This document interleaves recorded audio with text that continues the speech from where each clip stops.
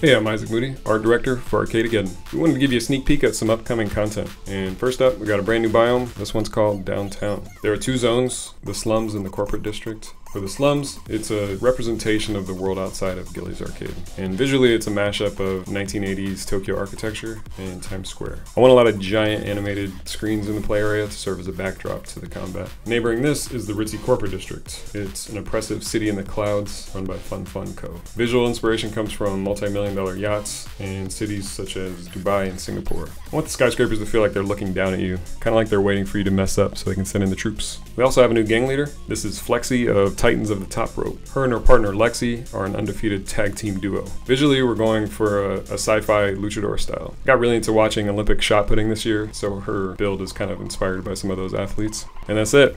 Thanks for your time. Response to this game has been really amazing so far, and I'm excited to show you more content soon.